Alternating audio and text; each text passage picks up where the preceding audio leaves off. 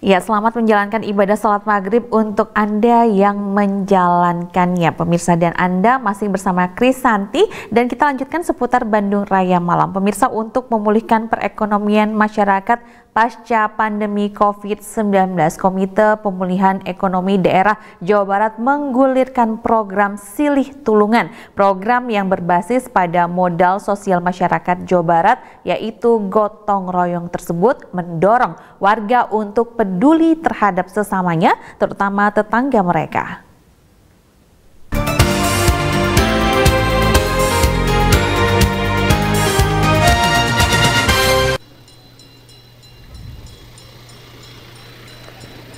Pemulihan ekonomi nasional memiliki beberapa instrumen dengan masalah kesehatan menjadi prioritas utama, setelah itu UMKM.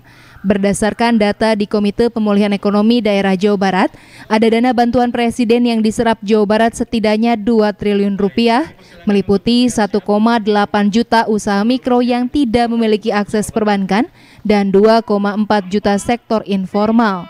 Selain itu menggerakkan tumpuan ekonomi nasional yaitu sektor belanja rumah tangga melalui pemberian bansos mendorong program yang sifatnya kebijakan afirmatif seperti proyek pembangunan Patimban hingga jalur Jawa Barat Tengah Selatan yang merangsang sektor padat karya.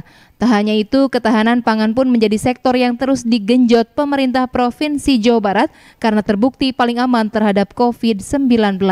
Untuk itu, Gubernur Jawa Barat Ridwan Kamil pun meminta para pemuda pelaku usaha kembali ke desa untuk memanfaatkan lahan produktif yang ada. Nah, untuk mewujudkan itu, acara ini juga saya titipkan untuk dijadikan forum rutin dan segera menyusun kepanitiaan uh, kemandirian pangan Jawa Barat ini untuk menghadapi potensi krisis pangan di tahun depan.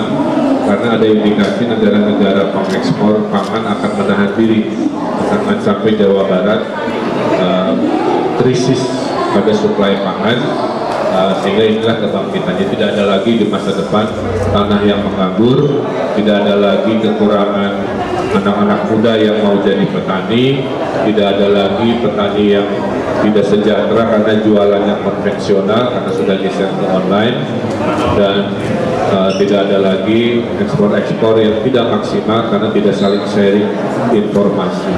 Nah mudah-mudahan uh, program yang kami laksanakan khususnya didukung oleh Bank Indonesia Jawa Barat itu menjadi kebangkitan ketahanan pangan 2021 jangan sampai krisis kesehatan, kemudian krisis ekonomi berlanjut ke krisis pangan dan itulah kenapa kita ada situasi. Senada dengan Gubernur Jawa Barat, Ketua Harian Komite Pemulihan Ekonomi Daerah Jawa Barat, Ipong Witono menyatakan pihaknya mendorong sektor UMKM untuk melakukan langkah migrasi bersama ketahanan pangan. Menurut Ipong, ketahanan pangan menjadi unggulan karena perubahan negara eksportir pangan yang menahan untuk kebutuhan dalam negeri mereka sehingga diproyeksikan akan ada kesenjangan stok pangan secara nasional. Selain berkolaborasi dengan perhutani dan PTPN untuk penyediaan lahan yang dapat dioptimalisasi UMKM, masyarakat pun didorong memiliki ketahanan pangan dari rumah sendiri. Pendekatan yang dilihat efektif di Jawa Barat yaitu dari sisi budaya. Program Silih Tulungan yang berbasis modal sosial Jawa Barat yaitu gotong royong pun digulirkan. Pertanyaannya, tidak semua rumah memiliki perkarangan. Nah, kami bekerja sama dengan beberapa komunitas ya dengan lingkungan terkecil RT RW dan tanaman-tanaman hidroponik yang mungkin bisa dilakukan oleh masyarakat untuk minimal memenuhi sebagian kebutuhan pangan yang ada. Itu sosialisasi juga udah mulai digencarkan ya Pak ke Ya, kami uh, kami uh, mengamati struktur masyarakat kita Jawa Barat. Hmm.